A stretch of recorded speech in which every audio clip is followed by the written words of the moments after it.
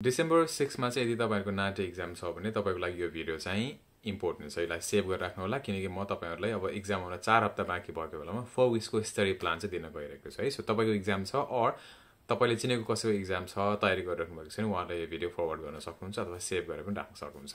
अब यो four weeks प्लानमा चाहिँ सुरुमा विक वानमा चाहिँ तपाईँले के गर्ने भन्दाखेरि सुरुको एक दुई दिनमा चाहिँ हामीले बेसिक फोक्याप्सहरू शब्दहरू सिक्ने है। जस्तै greetings good morning good afternoon nice to meet you होइन? How can I help you भयो कमन फ्रेजहरू सेन्टेन्स स्ट्रक्चरहरू जस्तै अब passport driving licence interview appointment record यस्तो यस्तो शब्दहरू चाहिँ सिक्ने है? त बेसिक शब्दहरू जुन जुनसुकै डोमेनमा पनि आउन सक्छ। त्यसपछि चाहिँ तपाईँहरूले अरू बेसिक र इम्पोर्टेन्ट कुराहरू जस्तै कि नोट टेकिङ होइन? कन्टेन्ट मिलाएर भन्ने धेरै इन्फर्मेसन नछुटोस् कस्तो खालको इन्फर्मेसन चाहिँ छुट्यो भने धेरै मार्क्स काटिन्छ। कस्तो खालको इन्फर्मेसन छुट्यायो भने पनि पास हुन सकिन्छ भन्ने कुराहरू बुझ्नु पऱ्यो नोट टेकिङमा सजिलो हुन्छ। Fluency sentence structure sentence formation speaking test भएको हुनाले हामीलाई चाहिँ धेरै बेला सोचेर सेन्टेन्स बनाएर भन्ने टाइम हुँदैन होइन। सो तुरुन्तै यस्तो यस्तो कुराहरूमा चाहिँ तपाईँले सुरुमा चाहिँ ध्यान चाहिँ दिनु पऱ्यो र यो कुराहरूलाई मध्यनजर गर्दै एक हप्तामा चाहिँ तपाईँहरूले कमसेकम दसदेखि पन्ध्रवटा डाइरेक्ट चाहिँ गर्नुहोस् है। त फर्स्ट विक चाहिँ अलिकति स्लो हुन्छ सबै कुराहरू सिक्नुपर्ने भएको हुनाले र सक्स र मिल्छ भने चाहिँ एउटा वान टू वान क्लास पनि लिनुहोस् टिचरहरूसँग जस्तै हामीले पनि one two one class provide गर्छौँ होइन।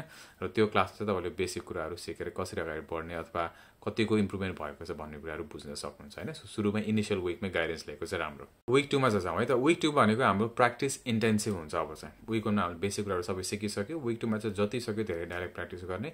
दिनको छदेखि आठवटा डाइरेक्ट चाहिँ मैले रेकमेन्ड गरेको ताकि एक हप्तामा पचासवटा डाइरेक्ट चाहिँ भ्याउन सकियोस्। र यो पचासवटा डाइरेक्ट चाहिँ तपाईँले सबै डोमेनहरूको डाइरेक्ट चाहिँ गर्ने है? हरेक डोमेनको एटलिस्ट दुई तिनवटा भए पनि डाइरेक्ट चाहिँ गर्नु पऱ्यो जस्तै तिन चारवटा डोमेन मात्रै गरेर पचासवटा गरेर पुग्दैन होइन?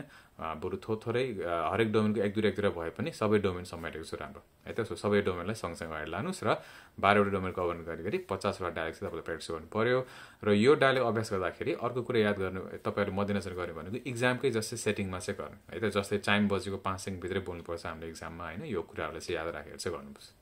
अनि यो डायलग गर्दै जाँदाखेरि पक्कै पनि त्यहाँ डायलग भएको कति भोकेसहरू तपाईँलाई आउने कति नआउने हुन्छ। नआउने भोकेलाई टिपेर छुट्टै लिस्ट जस्तो बनाएर कापीमा पनि राख्ने है। त्यो कापीको त्यो भोकेप चाहिँ तपाईँले छुट्टै पढ्ने घोक्ने चाहिँ सक्नुहुन्छ तपाईँले। अब हामी जाउँ विक थ्रीमा सो विक थ्री भनेको प्रिटी मच विक टू जस्तो नै हो। तर विक वानमा त विक टूमा तपाईँले पढिसकेको डायलगको रिभाइज गर्ने अब है। रिपिटेसन र रिभिजन तपाईँसँग थप डायलगहरू छ भने त्यो गरेको पनि राम्रो। तर यो फोर विक्समा चाहिँ धेरै डायलग गर्नुभन्दा पनि मेरो विचारमा पचास साठीवटा चाहिँ डायलगहरू तर त्यसलाई नै दोहोऱ्याएर तेह्राएर गरेको छ राम्रो।